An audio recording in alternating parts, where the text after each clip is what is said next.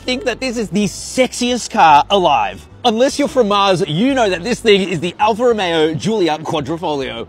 That means that it has a Ferrari-derived 2.9 litre turbo V6 that sounds like this.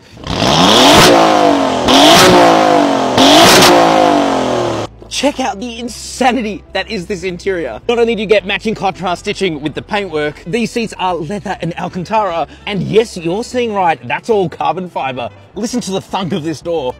Oh, I'm not joking here when I say that this thing smells like an Italian handbag. Let's turn this bad boy on. You have leather absolutely everywhere. Check out these paddle shifters. They are the best. And one more rev, just for good measure, right? Wow. And so this whole package is why